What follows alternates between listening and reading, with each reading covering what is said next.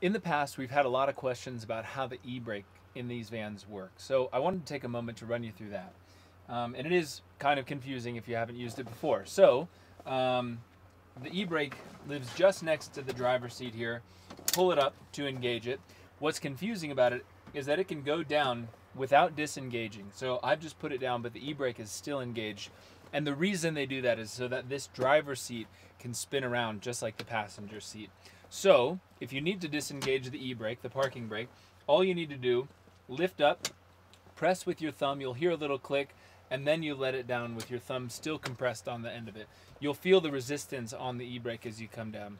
So one more time, engaged, still engaged, and now we've disengaged it.